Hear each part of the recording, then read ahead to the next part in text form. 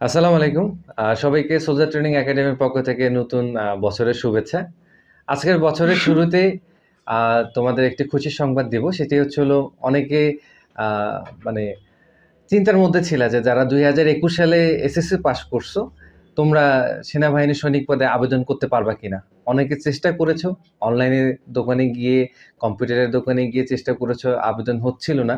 But তোমাদের সুবিধার্থে, যারা তোমরা দুই হাজার একুশ সালে সেনাবাহিনীতে আবেদন করতে চাও মানে যারা একু- একুশ সালে যারা তোমরা এসএসসি পাস করছ এবং যারা আবেদন করতে চাও এই সার্কুলারে তোমরা অবশ্যই পারবা, কারণ তোমাদের জন্যই আসলে পনেরো দিন ডেট বাড়ানো হয়েছে জানুয়ারির পনেরো তারিখ পর্যন্ত।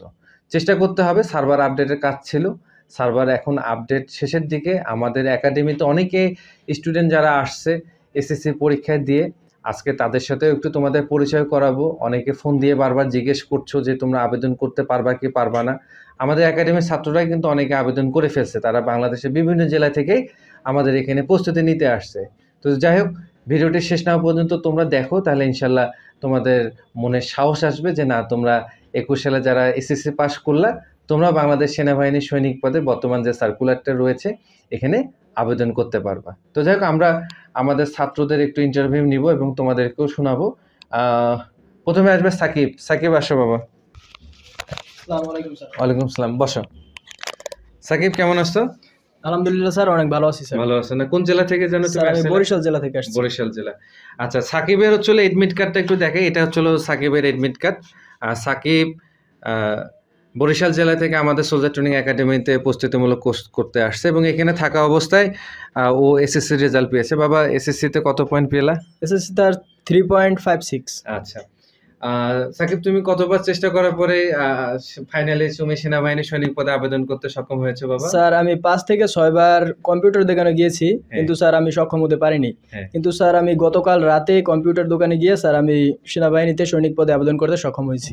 গুড তার মানে মানে আশা ছেড়ে দেওয়া যাবে না চেষ্টা করতে হবে। সার্ভারের সমস্যার কারণে হয়তো বা একবার দুইবার তিনবার চারবার তোমার সমস্যা হতে পারে বা নাও হতে পারে বাট চেষ্টা করতে হবে। সাকিব একুশ সালে এসএসসি পাস করছে আমাদের এখানে এসএসসি পরীক্ষা দিয়ে ও প্রস্তুতি নিতে আসছে। এবং বিশেষ করে আমাদের এখানে সাকিবের বাবা আমাদের ভিডিওগুলো সবসময় দুবাই দুবাই থেকে দেখে, উনি একজন প্রবাসী।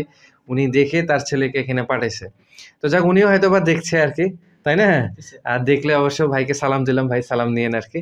আর তোমার বাবা অবশ্যই দেখে সব ভিডিও কিন্তু আমাদের দেখে। হ্যাঁ তোমার বাবার উদ্দেশ্যে যদি কিছু বলার থাকে। স্যার আমার আব্বু স্যার যদি দেখে থাকেন তাহলে দোয়া করবেন যাতে আমি প্রথম মাঠে চাকরি নিয়ে বাসায় ফিরে আসতে পারি।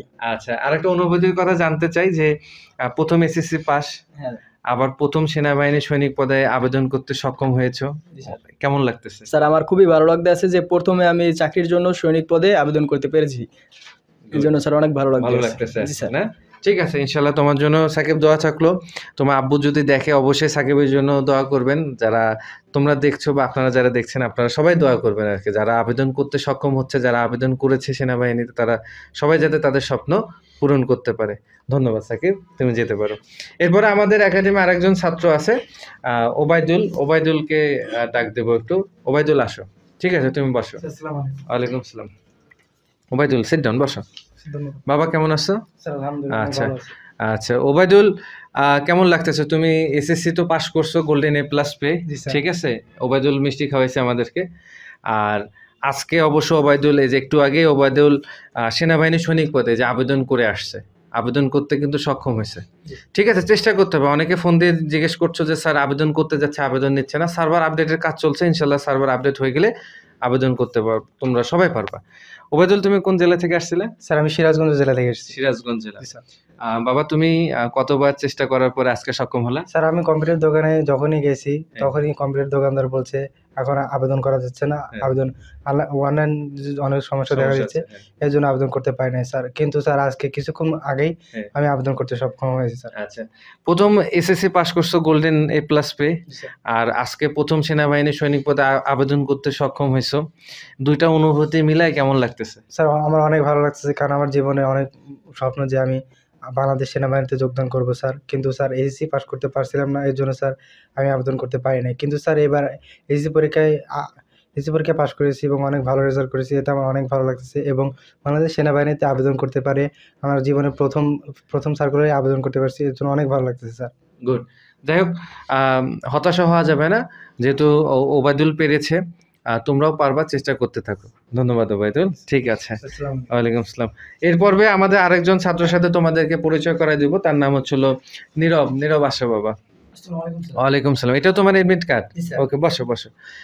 এটা হচ্ছে হলো নীরবের এডমিট কার্ড নীরব নীরবের এডমিট কার্ডটা তোমরা দেখতেছো। নীরবও কিন্তু দুই হাজার একুশ সালে এসএসসি পাস করল। ঠিক আছে? নীরব তুমি কোন জেলা থেকে আসছো বাবা আমাদের স্যার নেত্রকোনা। নেত্রকোনা। জি। আচ্ছা। তুমি কতবার চেষ্টা করার পরে আবেদন করতে পারো স্যার পরীক্ষার রেজাল্ট পাওয়ার পরপরই স্যার আমি ট্রাই করছি কিন্তু হ্যাঁ। বারবার সরি দু হাজার একুশ ব্যাটস নট হ্যালাও হ্যাঁ, এরকম হ্যাঁ। স্যার বারবার বলছে। আচ্ছা তখন কেমন লাগছিল? খারাপ লাগছিল? স্যার অনেক খারাপ লাগছিল। ভাবলাম স্যার পরীক্ষার পর পরই সুযোগটা পাইছি কিন্তু হ্যাঁ। স্যার আবেদন করতে পারছি না। আচ্ছা। জি। কিন্তু আমি কিন্তু তোমাদেরকে বলছিলাম যে ধৈর্য ধরো তোমাদের জন্য অবশ্যই একটা খুশি সংবাদ আসবে। জি স্যার সেটা না? তো কিন্তু দেখো সেনাবাহিনীরা কিন্তু বিবেচনা করছে। সরকার কিন্তু বিবেচনা করছে যে তোমরা এসএসসি পাস করছ এতগুলো শিক্ষার্থী তোমরা যদি আবেদন না করতে পারো এটা কেমন না? জি সে কারণে জানুয়ারির পনেরো তারিখ পর্যন্ত কিন্তু ডেট বাড়াই দিয়েছে দিছে না? আচ্ছা তো যাই হোক ফাইনালি আবেদন করতে পেরে কেমন লাগতেছে? জি স্যার পরীক্ষার পর পরই স্যার আবেদন করতে পারছি। মনে হচ্ছে এজন এক সুবর্ণ সুযোগ। স্যার যদি এই আবেদন না করতে পারতাম হয়তো কিছু হইতো না কিন্তু স্যার অনেক ভালো লাগতেছে স্যার। অ্যাডমিট এডমিট কার্ড পাওয়ার পরেই মনে হচ্ছে যেন আমি চাকরি পেয়ে গেছি। তাহলে যেদিন তুমি পরীক্ষা দিতে গিয়ে নিজের যোগ্যতায় যখন অ্যাপয়েন্টমেন্ট লেটার পাবা নিয়োগপত্র পাবা তখন তাহলে চিন্তা করে দেখো কীরকম ভালো লাগা কাজ করবে। তাই না? প্রস্তুতি নিতে হবে ভালোভাবে প্রস্তুতি নিলে ইনশাল্লাহ আমরা সবাই আমাদের স্বপ্নটা পূরণ করতে পারব। কি বলো? আমাদের এখানে প্রস্তুতি নিতে নিতে এসে কেমন লাগছে? স্যার অনেক ভালো লাগছে স্যার। বাড়িতে থাকা অবস্থায় তো জানতাম না কীরকম সমস্যা ছিল। এখানে আসে স্যার সমস্যা সমাধানের কৌশলও পাইছি আর সমস্যা কি কি তাও জানতে পারছি। আর রিটার্ন ভাইবা এগুলোর বিষয়ে অনেক অভিজ্ঞ হয়েছি আচ্ছা।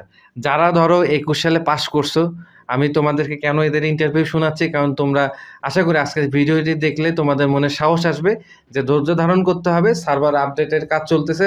সবগুলো জেলার শিক্ষার্থী তোমরা আবেদন করতে পারবা সেনাবাহিনী সৈনিক পদে, ঠিক আছে?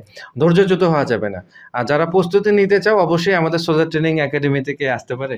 জি স্যার অনেকেই হয়তো ভাবতেছে আমার উচ্চতা পাসপোর্ট দশ এগারো হ্যাঁ। নয় আমার তো অবশ্যই চাকরি হবে। কিন্তু স্যার তাহলে তো বাংলাদেশের সকলেরই চাকরি হতো যাদের উচ্চতা। হ্যাঁ তাদের ওই যে মেডিকেল আনফিট টাকার কারণেই তো স্যার চাকরি হয় না। আচ্ছা তো যাদের মেডিকেল আনফিট অবশ্যই তারা মনে হয় জানে না এখানে আসলে জানতে পারে। তো তা- তাদের জন্য শুভকামনা রংপুর সোলজার একাডেমিতে আসার জন্য। গুড ধন্যবাদ। নীরব তোমাকে তোমার মূল্যবান বক্তব্য দেওয়ার জন্য। থ্যাংক ইউ ভেরি মাচ আর কি ওকে আমরা এ পর্বে আমাদের আরেকজন শিক্ষার্থীর সাথে তোমাদের পরিচয় করে দেব। তার নাম হচ্ছিল এনাম। আসো এনাম। বাবা তুমি কেমন আছো? ওকে বসো বসো বসো বসো। তোমার ওইটা এডমিট কার্ড আচ্ছা এনামের এডমিট কার্ডটা দেখাই। এনামও আমাদের এখানে এসএসসি পরীক্ষা দিয়েই আমাদের সোলজার ট্রেনিং একাডেমিতে কোচিং করতে আসছে। এনাম তুমি কতবার চেষ্টা করার পরে আবেদন করতে সক্ষম হলো আজকে? স্যার আমি রেজাল্ট পাওয়ার পরপরই স্যার আমি কম্পিউটার দোকানে গিয়েছিলাম হ্যাঁ। কিন্তু নট অ্যালাউড বারবার দেখায়। তারপরে আমি বিকাল হয়ে গেলাম স্যার বিকালে গিয়ে ওই এইভাবে দেখায়। হ্যাঁ। তারপরে আমি একত্রিশ তারিখ গেলাম একত্রিশ তারিখেও নট অ্যালাউড দেখায়। হ্যাঁ। তারপর আমি এক তারিখে গেলাম এক তারিখে গিয়ে দেখি স্যার আমার সার্কুলার আবেদন করতে পারছি স্যার। গুড কোন জেলা থেকে আসছিলে বাবা স্যার হবিগঞ্জ জেলা থেকে। হবিগঞ্জ জেলা থেকে। আচ্ছা যারা দুই হাজার একুশ সালে পাশ করছ, বিভিন্ন জেলার শিক্ষার্থীরা হয়তো বা দেখছ আমাদের আজকের ভিডিওটি। অবশ্যই তোমরা বেশি বেশি করে শেয়ার করে দিবা, কারণ ভিডিওটা দেখলে অনেকের একটা সাহস আসবে। কি বলো তোমরা? অনেকে হচ্ছিল মনে করছে যে আমরা একুশ সালে আবেদন করছি, আবেদন কয়েকবার করছি নট অ্যালাউড দেখাচ্ছে। কিন্তু তেমন বিষয় না।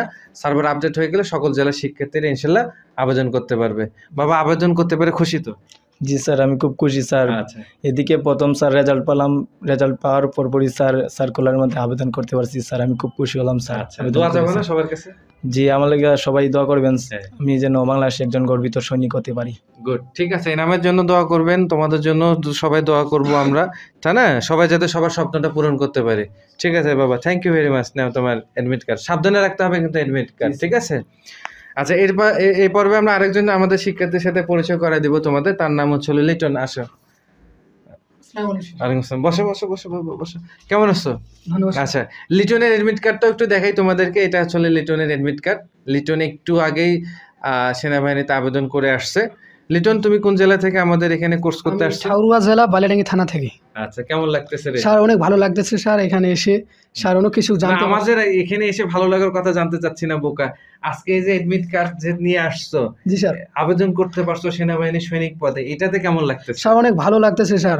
স্যার লাইফের ফার্স্ট টাইম আমি বাংলাদেশ সেনাবাহিনীতে আবেদন করতে পারছি। এটা অনেক ভালো লাগতেছে ভালো লাগতেছে জি না? স্যার। তাহলে চিন্তা করে দেখো যখন নিজের যোগ্যতায় গর্বিত সৈনিক হবা সৈনিক হয়ে যখন চাকরিতে নিযুক্ত হবা তখন দেখো তাহলে কত ভালো লাগা কাজ করবে। জি স্যার। ঠিক কি না? ইয়েস স্যার আচ্ছা বাবা কতবার চেষ্টা করার পরে আবেদন করতে আমি পাঁচ থেকে ছয়বার চেষ্টা করার পরেও স্যার। নোট এলো আসতেছে স্যার তখন কাল সন্ধ্যায় দশটার দিক স্যার আমি করছি স্যার। মানে আবেদন করছি স্যার। গুড তো যাই হোক এই হচ্ছিল মোটামুটি আজকের বিষয়। লিটন তোমাকে অসংখ্য ধন্যবাদ। ঠিক আছে? নাও। ওকে ঠিক আছে তুমি যেতে পারো।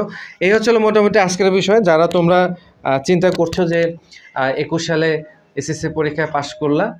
তোমরা যে সেনাবাহিনীর সার্কুলারটি বর্তমানে রানিং আছে, এই সার্কুলারে সৈনিক পদে অবশ্যই তোমরা আবেদন করতে পারবা। খুব ভালোভাবে আবেদন করো। আবেদনের সময় কখনোই জেলা কোড ভুল করা যাবে না। তোমার বাবা মার নাম, ঠিকানা সব কিছু তোমার জন্ম নিবন্ধনের নাম্বার বা ভোটার আইডি কার্ডের নাম্বার, এগুলো খুব ভালোভাবে দেখে তোমার আবেদন করতে হবে। কারণ ভুল আবেদন করলে কিন্তু অনেক সময় এস এম এস আসবে না, এটা মাথায় রাখতে হবে এবং ভুল আবেদন করলে বা জেলা কোড ভুল হলে কিন্তু আর তোমার পরীক্ষায় দিতে দিবে না। জেলা কোডটা খুব মনোযোগ সহকারে দেখে সার্কুলারের নিচে জেলা কোড লেখা থাকে, জেলা কোডটা দেখে, লিখে তোমরা হচ্ছিল অনলাইনে সাবমিট করবা। এই হচ্ছিল বিষয়। আর সবার জন্য শুভকামনা থাকল। আশা করি ভিডিওটির মাধ্যমে তোমরা অবশ্যই পরিষ্কার বুঝতে পেরেছ যে যারা দুই হাজার একুশ সালে এসএসসি পাস করেছ, যারা এসএসসিতে থ্রি পয়েন্ট পেয়েছ এবং যাদের উচ্চতা পাঁচ ফিট ছয় ইঞ্চি আছে, পুরুষ প্রার্থী এবং যাদের উচ্চতা পাঁচ ফিট তিন ইঞ্চি, মহিলা প্রার্থীরা, তোমরা সবাই বাংলাদেশের বিভিন্ন জেলা থেকে আস্তে আস্তে পর্যায়ক্রমে আবেদন করতে পারবা। আবেদন করো, ভালোভাবে প্রিপারেশন নাও, ভালোভাবে প্রস্তুতি নাও। আর আমাদের সোজার একাডেমিতেও সমসাময়িক ব্যাচে ভর্তি চলছে। যারা মনে করছ তোমার মেডিকেল লিখিত ভাইবা এবং শারীরিক পরীক্ষার জন্য প্রস্তুতির দরকার বা প্রয়োজন রয়েছে, তোমরা চাইলে আমাদের এখানে আসতে পারো, এসে এক মাসের একটা স্বল্পমেয়াদী কোচিং করে যেতে পারো। পূর্ব প্রস্তুতি যখন নিয়ে যাবা পরীক্ষার কেন্দ্রে, তুমি পরীক্ষায় ভালো করতে সক্ষম হবা। তো যাই হোক, সবাই ভালো থেকো। ইনশাল্লাহ ভালো লাগলে ভিডিওটা একটু শেয়ার করে দেবা, খুবই গুরুত্বপূর্ণ আমার কাছে মনে হয়েছে। আর আগামী নতুন কোনো টিউটোরিয়াল নিয়ে আবার ইনশাল্লাহ দেখা হবে। সে পর্যন্ত আল্লাহ হাফেজ। সবার জন্য শুভকামনা। আবারও নতুন বছরের শুভেচ্ছা সবাইকে। আসসালামু আলাইকুম। সবাই ভালো থাকবেন। ধন্যবাদ।